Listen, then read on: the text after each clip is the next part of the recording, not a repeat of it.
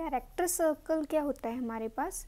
That is the locus of point of intersection of perpendicular tangents to a circle जैसे हमारे पास एक circle है तो सर्कल हमारे पास गिवन है। अगर हमारे पास कोई भी एक्सटीरियर पॉइंट है तो एक्सटीरियर पॉइंट से हम दो जो है, वो टेंजेंट्स ड्रॉ कर सकते हैं। हमने वो पॉइंट्स कंसिडर करने हैं जहाँ पे टेंजेंट्स के बीच जो एंगल आ रहा है that is 90 degree so so, हमारे पास जो टेंजेंट्स आ रही हैं point of intersection of perpendicular tangents perpendicular tangents चाहिए। सो so, उन पॉइंट्स को कलेक्ट करना है जो हमें परपेंडिकुलर टेंजेंट्स दे रही हैं। जैसे एक सर्कल है सपोज़ दिस पॉइंट अगर मैं यहाँ से टेंजेंट्स ड्रॉ कर रही हूँ वो परपेंडिकुलर आ रहे तो मैंने ये पॉइंट कंसिडर कर लेना। इसी तरह से कोई और पॉइंट ले लो। वहाँ से अगर मैं टेंजेंट्स ड्रॉ कर रही हूँ इफ़ दे आर परपेंडिकुलर तो मैंने वो पॉइंट कलेक्ट करें।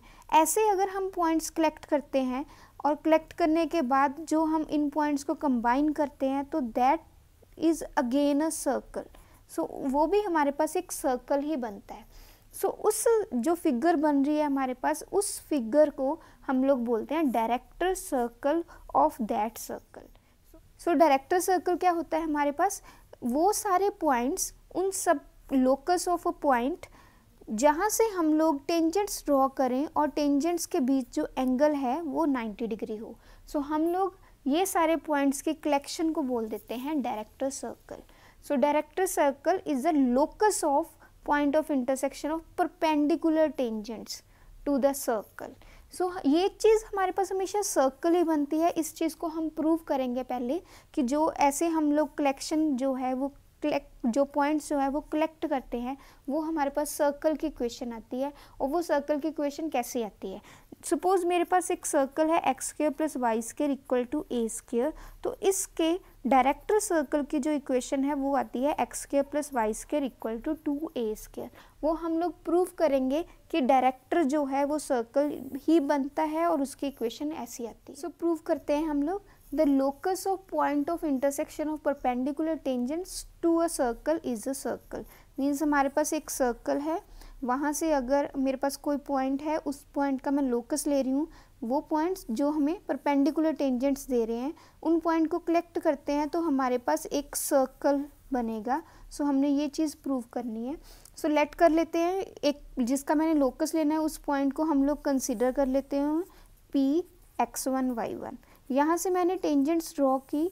दीज आर टू टेंजेंट्स तो मैं फाइंड आउट करूँगी joint equation of tangents so joint equation of tangent क्या होगी? सबसे पहले मैं लेट कर लेती हूँ। Let x square plus y square equal to a square this is the equation of circle so this is equation of circle जिसका हमने डायरेक्टर सर्कल फाइंड आउट करना है। सो so, नेक्स्ट हम लोग पॉइंट एक कंसिडर कर लिया P x one y one जहाँ से मैं टेंजेंट्स ड्रॉ कर रही हूँ और मेरे पास एंगल जो है वो 90 डिग्री आ रहा है। Then equation of pair of tangents so pair of tangents जो है, वो हमारे पास, जो अभी हमने पीछे वाली वीडियो में फॉर्मूला भी किया था S into S one one equal to S one square इस फॉर्मूला का यूज़ करके हम लोग equation of pair of tangents निकाल लेंगे। सो दैट विल बी हमें एस चाहिए that S is x square plus y square minus a square then मुझे एस वन वन चाहिए। एस वन वन मीन्स मुझे पॉइंट पुट करना है point मैंने लिया है P so I will put the point in the in S equal to zero so it will be x square plus y square minus a square then मुझे S one चाहिए S one will be x into x one plus y into y one minus a square so तीनों values आ गई, यहाँ पे put करके हम लोग pair of tangent joint equation of tangent जो है वो फाइंड आउट कर लेंगे. So it will be S S है हमारे पास this one and then S one one S one one is x one square plus y one square minus a square equal to S one whole square so S one जो है वो मेरे पास जो equation है, वो मैं put करके वहाँ पे होल स्केयर कर दूँगी। So this is the equation of pair of tangent इसको मैं सॉल्व कर सकती हूँ। लेकिन एक एक्स्ट्रा कंडीशन है कि these pair of tangents are perpendicular to each other दोनों जो है वो एक दूसरे के परपेंडिकुलर है। सो so, दो लाइंस जो है अगर मुझे ज्वाइंट इक्वेशन पता है दो लाइंस परपेंडिकुलर हैं तो उसके कंडीशन क्या होती है हमारे पास? उसकी कंडीशन होती है कि जो ज्वाइंट इक्वेशन है वहाँ पे coefficient of x square plus coefficient of y square that should be zero हमारे पास coefficient of x square plus y square जो है वो हमारे पास ज़ीरो आना चाहिए। X square plus y square का coefficient so this is a joint equation ये ज्वाइंट इक्वेशन जो है वो परपेंडिकुलर है. गिवन है हमें क्योंकि हमने वही पॉइंट्स लेने हैं जो परपेंडिकुलर बना रहे हैं. सो ज्वाइंट इक्वेशन मीन्स मुझे अब यहाँ पे कंडीशन लगानी है. Coefficient of x square plus coefficient of y square equal to zero so इस इक्वेशन से मैंने coefficient of x square find out करना है.